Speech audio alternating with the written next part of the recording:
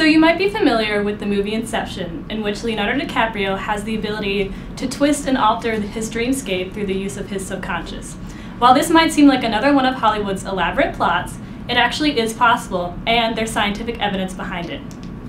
Today, I will be showing you guys how to lucid dream and how you can actually use lucid dreams to help you with some everyday decisions. So, think back to the last time you had a dream. Can you pinpoint at what moment you knew it was pure fantasy? For most, this doesn't occur until you wake up. However, lucid dreamers are actually able to obtain full consciousness during the dream, which allows them to change the outcome of it. A 2010 study by Scientific America showed that one in five Americans experiences a lucid dream per month, so it is happening. What's truly fascinating about lucid dreamers is that they can actually create a plan before falling asleep and actually execute it in the dream, which is where the whole problem solving aspect will later come into play. So to fully understand lucid dreaming, we first need to look at the science behind dreams. There are actually two stages of sleep, REM and non-REM sleep. During REM sleep, you experience an increase in brain activities and your eyes rapidly dart back and forth, which is why it's coined rapid eye movement sleep. This allows 80% of Americans to experience immersive and vivid dreams. So now that we know a little bit more about lucid dreaming, let's talk about how we can actually implement lucid dreams.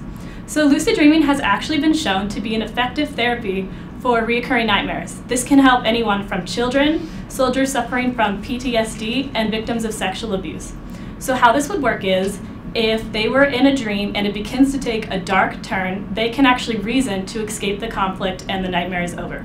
So if a child had a nightmare where he saw a scary monster, he could fly away and the nightmare is over. A more lighthearted use for lucid dreaming is when it comes to decision making. I don't know about you guys, but I've had a really hard time picking a major here at Penn State. Lucid dreaming can be used to explore possible career paths and even relationship problems. So what you would do is, before falling asleep, you would think about a couple decisions you'd like to explore.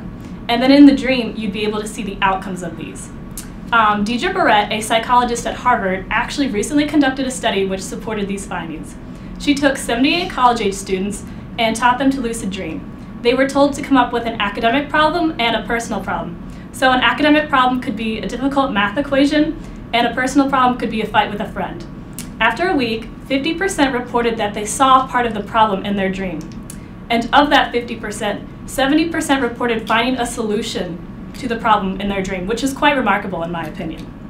So another way we can use lucid dreaming is when it comes to writer's block. So if you're ever stuck writing a 10-page paper, try to dream about it. Uh, something that I found particularly interesting was that George Lucas, the mastermind behind the widely successful Star Wars franchise, actually credits a lot of the elaborate plot to his dreams. Not to mention, chemist Frederick August struggled with the structure of benzene for years until one night he had a dream of a snake forming a circle and biting its own tail, which is where he got inspired to um, look at the ring-like structure which is actually correct in what we use today. So now that you guys know some of the benefits of lucid dreaming, let's talk about how you guys can actually lucid dream. So if you've ever had a dream before, you have the possibility of lucid dream. Now the most important step is to really master dream recall. So what you can do is keep a dream journal by your bed, and anytime you remember anything about a dream, to quickly jot it down. Now I would wait until Christmas break because this definitely will um, upset your sleep patterns, and so after a while, you're going to have a lot to work with. And what you want to do is start looking for some reoccurring themes. This could be maybe a loved one you typically don't see or flying. Anything that's odd, and this will cause you to um, question your state of consciousness. Now the next step is to create a mantra. Before you go to sleep, you want to tell yourself that you want to lucid dream and you want to remember your dream. This will really focus your mind and help you to hit that lucid stage. Now, don't forget to get um, eight hours of sleep because if you aren't getting enough sleep, you won't hit all of your REM cycles. So with enough practice, anyone can lucid dream. Lucid dreaming has been used to solve countless problems, anything from reoccurring nightmares to writer's block. So really, what's stopping you from lucid dreaming? Thank you.